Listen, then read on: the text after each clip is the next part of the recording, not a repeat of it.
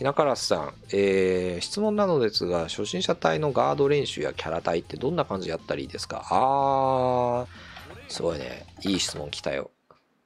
ちょタイトルでもつけとくか。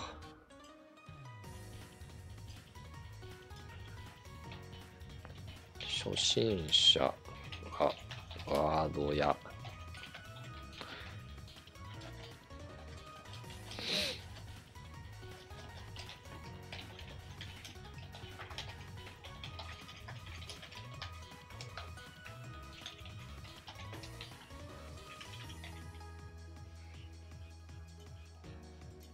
じゃあタイトルはこれです。初心者はガードやガードやキャラ体の練習を何から始めたらいいか。ちょ、みんな教えてほしいんだけど、何からやったらいいの？まあ、一応俺の経験から話すと、その経験というか、その他ゲーとかやるときの話からすると、ガードの練習はまあとりあえず一旦置いといて、キャラ体から先に話すんだけど、キャラ体は絶対やった方がいいのは1個だけある。絶対やったことが、やった方がいいのが1個だけあって、全キャラの全部の技覚えてください。マジで。これに始まり、これに尽きる。これやんないとね、始まんないんですよ。これ弱、これ立ち中、これ立ち強。これしゃがみ弱、しゃがみ中、しゃがみ強。モーション見て何の技かはさすがに全部覚えてください。これがまず最初のキャラ体ですね。なんでやった方がいいかっつうのはまあいろいろあるんだけど、例えばさ、なんか攻撃食らったりするじゃん何食らったかを頭の中で言語化できないのは覚えらんないんで無理なんですよ。なんか飛び込み食らって負けてんすよね。じゃなくて、ジャンプ攻撃を食らったんだ、ジャンプ C を食らったんだなっていう風に覚えないと、あの成長がやっぱ遅くなっちゃう。なんか、なんかジャンプ攻撃、なんなんとなく食らっちまったみたいなんじゃなくて、食らった時はジャンプ C だったなってこう明確に覚えると、次ジャンプ C 来る時に警戒できたりするっていうのがあって、まあ、トータルで考えた時にすごいメリットがでかいので、まあ、どの技名というか、その頭の中でその言語化しやすいように覚えたい。正式名称じゃなくていいんですよ。あの、下から突き出る必殺技とかでもいい。あと言いやすいやつとか、スケアとかでもいい。あの、これができないと、うん、結構きついんだよね。で、なんでそのスマブラとかが比較的初心者向きかって話になってくると、技が少ないんだよね、あのゲーム。必殺技ってさ、ぶっちゃけ、あの、そんなに種類がないし、弱中強の使い分けもないじゃんまあ、あの、スト2キャラとか除くと。だから、何の技食らったかっていうのをあんまり意識しないでも覚えれるんですよ。その、あのゲームは。けど、ウニみたいなゲームだと、これは EX オービターだな。これは B シニスターだな。えー、B シニスターの後に C オービターだな。みたいな感じのが、A、B、C とかでこう3倍とかになってたりするじゃんっていうのがあって、だるい。あ、でもそう、スマブラキャラが多いんですよね。そういうメリデメリットもあるんだけど。で、ごめん、ちょっとスマブラの話になっちゃうんだけど、スマブラの場合は、その、技は少ないし、どのキャラもさ、上 B は似たような技じゃん。とかで、あの、なんつうの、系統が似てるっつうのもあって覚えやすいっちゅうのはあります。で、えっ、ー、と、最初のもう一個の質問の、ガードの練習だよね。ガードの練習だよね。まあ、それで言うとね、難しいんだけど、難しいよなどこでガードすりゃいいんだろうね、普通。ガードの練習って。あの、これ、うんとね、ちょっと先の話になっちゃうような気がするんですが、先の話になっちゃう気がするんですが、格ゲーマー的に技振った後にレバーをニュートラルにしてることって絶対ないんですよ。例えば、波動拳やった後にぼったちしてることって絶対ないと思うのね。あ絶対は言い過ぎなんだけど、95%ぐらいの確率でしゃがみガードか後ろか入ってると思うんだ。その例えばベイカンガード出した後とかにここでぼったちしてることってなくて絶対しゃがみガードか立ちガードか入れてるのよね。まあなんならバックジャンプでもいいけどバックジャンプガードでもいいけどもしくはその最速でバックステとかを入力する。だから何を言いたいかっつうと技が終わったと。この技出てる間ってさガードできないじゃん？隙があるじゃない？えー、っとめんどくさいけどこうするか。でこれこの間ガードできないじゃん？けどガード技が終わった後だったらガードできるじゃん？この時にガードするんですよ。格ゲームは絶対に。これをこう食らうことはないんだ。技が終わった後にぼったちして何でもない声を食らうのはこれはねマジでないんだ。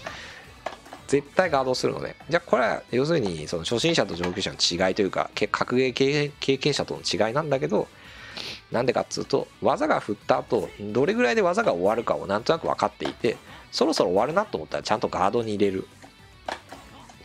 っていうのがちゃんと癖になってる。でもっと慣れてる人だとボタンを押した後必ずしゃがみガードにピッて入れるのが癖になってる。俺とかはそうだね。例えばダッシュ C とか入力するときも 66C3 66C1 って絶対入れるんですよ。こうなる入力的に。キーディスがこうなるんですよ。66C1 ってなる。こうこれ以外で入力することはない。マジで。ごめん。ちょっとこれはね先の話になるんですけど、まあ、要するにポイントとしてそのガードできるタイミングでは絶対ガードしたいのね。でじゃあガードできるタイミングっていつやねんって言うといや常にだからじゃあそしたらしゃがみガードから動けないじゃんってなるじゃん。でもそれはちょっと変なんでそうじゃなくて技出した後とか動いた後とかのそのちょうど隙を刺させ刺されそうなタイミングだけはちゃんとガード入れとこうみたいな。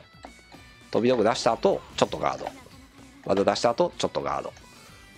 ジャンプを出した後ちょっとガードみたいな感じの技出した後ちょっとガード。これはね練習したい。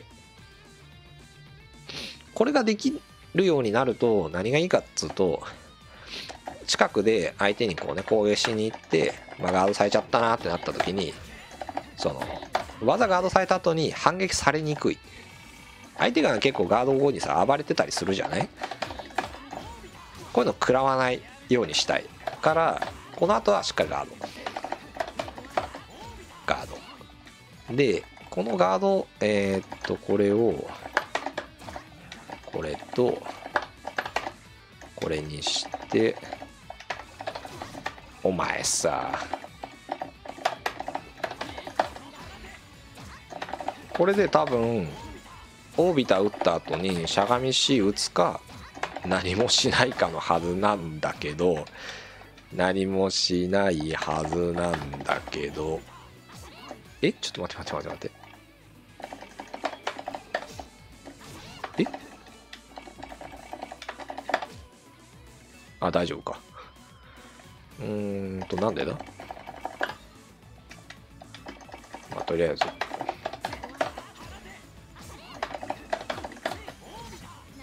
お前。ちょっと待ってね。ちょっと CPU がバカすぎる。そうこんな感じで技ガードしされた後にガードするしないみたいなあじゃあごめんごめん反撃するしないとかがあるんだけど技やった後にちょっとガードして相手の反撃を待って来なかったら違うことをするっていうのを癖にする感じ。技ガードさせる反撃来たらガード。技ガードさせる反撃来ないな来ないな来なかったら別の行動を動く。反撃してくんじゃねえよこいつ。っていう技ガードさせた後とかあの空振った後とかはちゃんとガードする。これはね結構うん大事かな。特に技終わった後の何フレームかの間にしっかりガード入れておこうみたいなのはすごく大事かな。いつでもかんでもガード入れとれ入れてればいいっていうのが格ゲーのいいとこではあるんだけどその簡単なところそのガードをし続けてるとガードゲージがなくなるとかないんでとりあえず気がついたら気がついたらもう常に立ちガードかしゃがみガード入れとこう。基本的にしゃがみガード入れとこう。ってなるんだけどそうするとおいおいおいしゃがみガードから一本も歩けんやんけってなるんだけどそうならないために技振った後とかの時だけちょっとガードしてから動く。みたいなのを癖にしておくと事故りにくいよと。これガードの練習としては結構大事かな。でこれは何をどう練習すればいいかっつうともうシンプルです。技の隙を覚えましょう。技振った後どれぐらいで動くかっていうのをなんとなくちゃんと感覚で覚えておく。ちょっとしゃがみガードする。ちょっとしゃがみガードする。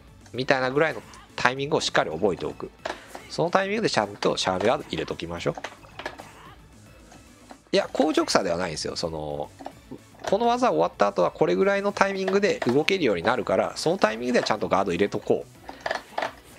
あのよく分かんなかったらずっとしゃがみガード入れっぱでもいいんだけどずっとしゃがみガード入れっぱするのってボタンを押すたびにしゃがみガード入れるのって結構なかなか覚えられないと思うんだよね最初は。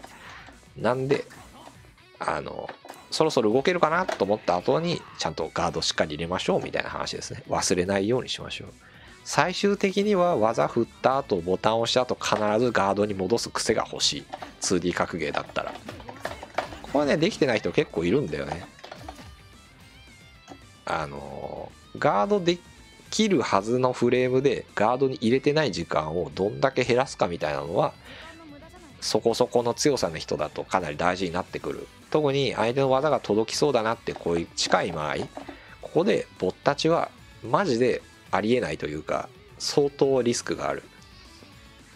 リスクがあるから例えば第5ザ・ビーストの梅原さんとかがこうボッタチとかしてるとギャラリーが湧くわけですよね。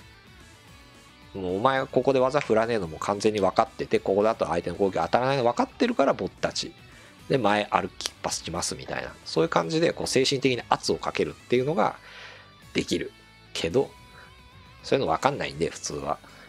まあやべえなと思ったら相手の攻撃この辺届くかなと思ったらしっかりガードする。でボタンを押した後とかコマンド入力した後とかってレバーがニュートラル化に戻っちゃいがちなんだけどちゃんとガードにしておく。これですね。これ大事です。かな。あでそうそうそう。ためのコマンドができない場合はリバーサコードとかで確認するで OK です。で相手の技確認したいなっつったら、まあ、これでいいです。普通に。こういう技だなっつってこれで確認するのでも OK です。だけどね俺的にはねできれば自分でやってほしい。できれば自分で操作してほしい。なんでかっていうと自分で出すとあの頭の中ですごい整理しやすいですねやっぱり。このボタンを押したらこれっていうのが頭の中にすごいに入ってきやすいんですよ。例えば知識として A ボタンの技がこれ、えー、ごめんえっ、とねうんと立ち A がこれとかじゃなくて操作的にそのレバーニュートラルにして A ボタンを押したらこれみたいな方の覚え方の方が俺的にはね、脳に直結してる感じがして覚えやすいんだよね。まあ、コマンドで覚えるっていう感じかな。簡単に言えば。何言ってんだおめえって感じかもしんないけど、まあ、とりあえず、そういう感じです。なんで、まあ、最初のガードの練習としてはそういう感じで、ガードできるタイミングでしっかりガードしましょう。ガードできるタイミングっつうのは技が終わった後の動けるようになった瞬間がすごい大事。だからそこはしっかりガードする。そこでガードしてないでぼったちしてると余計なダメージいっぱい受けちゃう。最初は攻撃ガードするがされる。もう最初はもうターン制だと思った方がいいですね。ガードされる。相手技ガードする。俺のターンだ。ガードさせる。ガードする。こういうターン制だなっていうのをしっかり覚えて相手の技をしっかりガードするまで待つ。これが大事。だけどそれだけだと交代交互になりすぎるから反逆反あのそれは嫌だなっつってこういう選択肢とかバックステし 強すぎるなこのこの技が。強すぎるな。まあこういう反撃するっていうテクニックを覚えていくんだけどそれはまず先の話ですね。キャラ体は最初はまずモーションというか相手の動きを見て頭の中でそのしっかり記憶できるフォーマットで覚えてください相手の技を。俺はコマンドで覚えるのが一番フォーマットとして覚えやすいと思ってる。格ゲー作ってるからっつうのもあるかもしんねえけどその技名で言われるよりは 6B とか昇竜とか覚え言ってくれた方が頭の中で整理できるしなんならコマンドは分かんねえけど指の動きが覚えてるってパターンは格ゲーマーめちゃくちゃあるんですよ。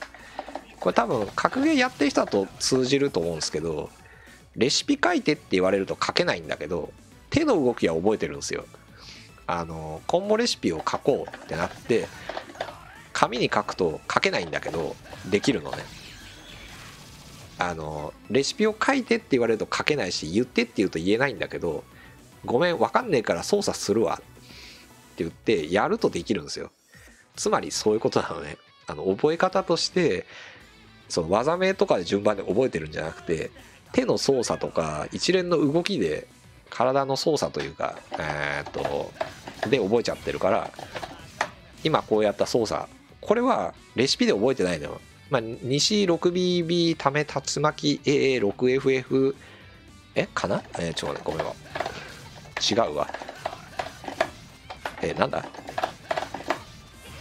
西か。みたいな。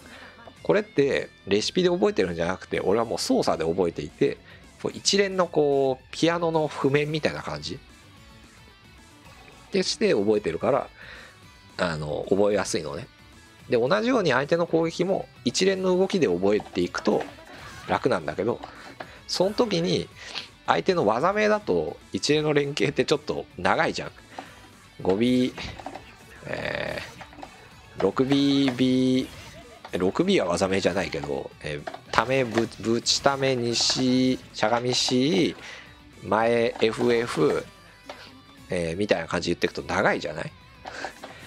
そうじゃなくて 6BB 竜馬ためにしディレイ、えー、6FF みたいな感じでコンボレシピというかそのなんだ。操作で手の動きで覚えれた方が言語化はできないんだけど俺は覚えやすいと思ってる派なので。いいかなと思います。はい。まあそんな感じですかね。